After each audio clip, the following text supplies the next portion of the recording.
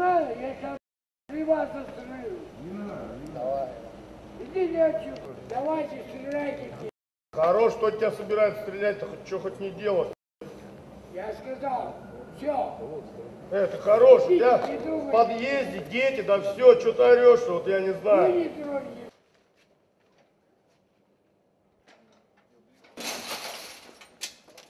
Thank you.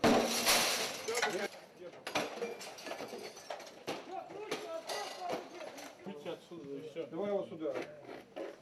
Сюда его тащите. Давай, давай, давай, давай. Надо было раньше думать. Давай. Где у тебя одежда? Когда я с тобой разговаривал. Где?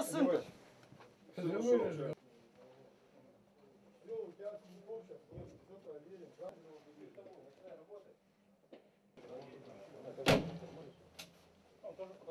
20 февраля в Ярославле в полицию поступило сообщение женщины, что ее э, сожитель нанес ей ножевое ранение, находясь в состоянии сильного алкогольного опьянения, выгнал ее из квартиры и заперся там с охотничьим ружьем. На место происшествия незамедлительно были направлены сотрудники полиции. Полицейские пытались вести переговоры с мужчиной, чтобы он открыл дверь.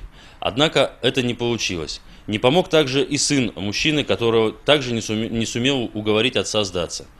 В результате проведенной сотрудниками СОБР спецоперации 63-летний мужчина был задержан. Охотничье ружье у него изъято. По данному факту возбуждено уголовное дело по статье 119 Уголовного кодекса «Угроза убийством». Ведется расследование.